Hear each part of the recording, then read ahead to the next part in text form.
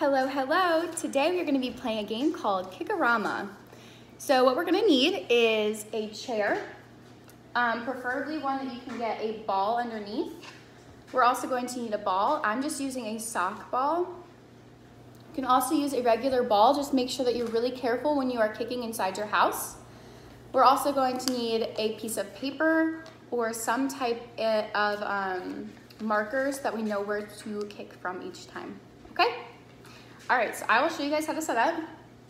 I have my chair down here. I'm gonna walk three steps. One, two, three.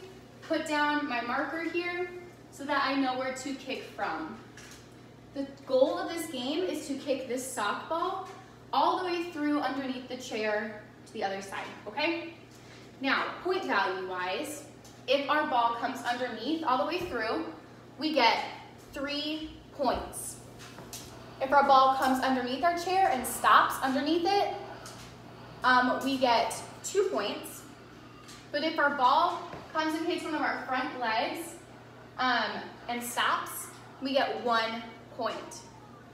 Please note if your ball comes underneath and hits one of the back legs and stays underneath the chair, that is still two points, okay? Now I'm gonna show you guys how to kick the ball properly. So if I'm back here, um, I have a ball down here. We want to make sure that we are stepping with our opposite foot towards our target. I turn just a little bit, and we are gonna be focusing on kicking with the inside of our foot here, okay? So towards our target, and follow through with the inside kick from the foot. All right, I will show you again. So towards target, inside, foot, kick. Okay? So you can go ahead and play this game at home and have fun. Make sure you're careful.